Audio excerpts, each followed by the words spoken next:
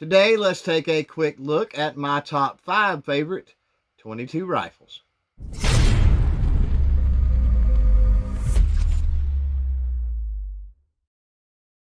What's up crew? My name is Chris and welcome back to the channel. Before we get started, I would like to invite you to jump down in the comments below and start a conversation about your favorite 22 rifles.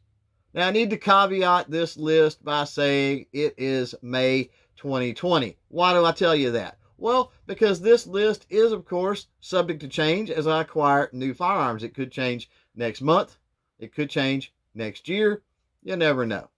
Let's get this party started. In at number five is going to be my Henry Golden Boy rifle. Now, mine is the Texas Tribute Edition, but other than the way it looks, there's really no difference between this rifle and a regular Golden Boy rifle from Henry.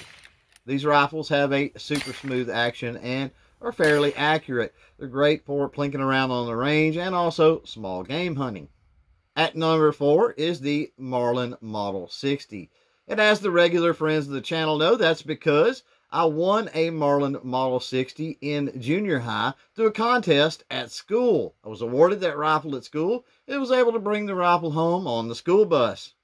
Ever since then, I've had a pretty good love and fascination with the Marlin Model 60s. These little semi-automatic rifles are reasonably priced and a really good value for the money, great for both plinking and small game hunting. Coming in at number three is going to be my Tactical Innovations Elite 22. Now, unlike number five and number four on this list, this is a truly custom rifle built from the ground up for silhouette competition. From the Tactical Innovations receiver to the Boyd stock to the Tactical Solutions barrel, this custom rifle is really nice. Before we move on with the list, would like to hit you up and say, that if you find this video informative, entertaining, or educational, give us a thumbs up. Hey, if you don't, give us a thumbs down. That's fine too, as long as you're engaging with the channel.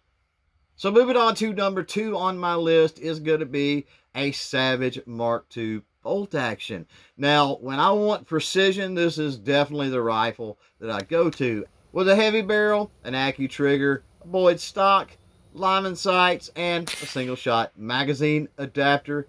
This rifle can certainly get it done in those precision small bore and light rifle matches.